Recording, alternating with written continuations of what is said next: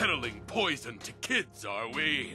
Today, you face the Silver Shroud!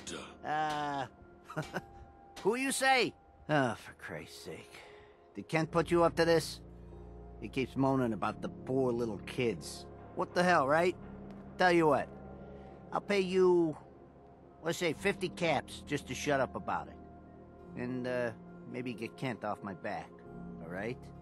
Stop selling to children, a miscreant, or face my wrath. Board up the windows because we're putting you out of business. Screw you. Waste the free.